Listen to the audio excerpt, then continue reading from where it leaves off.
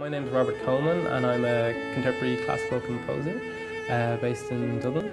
So I write music for a lot of different ensembles and instruments, uh, kind of all sorts, wind, brass, percussion, strings, anything really that comes my way.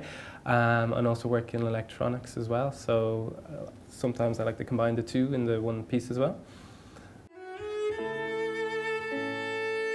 Um, so here I'm here as recipient of the Individual Artist Bursary um, with South Dublin. So for that, um, I have proposed to write a project or kind of develop a project whereby uh, I write a piece of music, uh, three movement work for violin duo with electronics.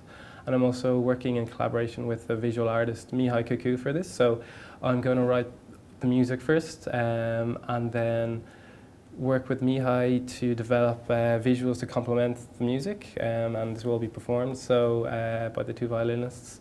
Uh, so it's kind of a collaborative effort involving different mediums. So uh, it's kind of an exciting project, I think, to be involved in. Yeah.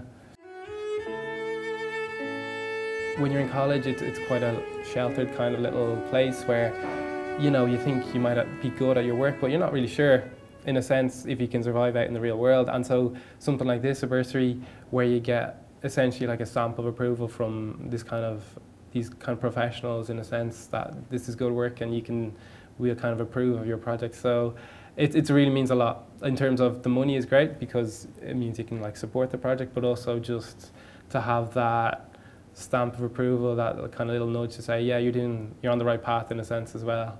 Um, it, it means a lot. Yeah, it's really good.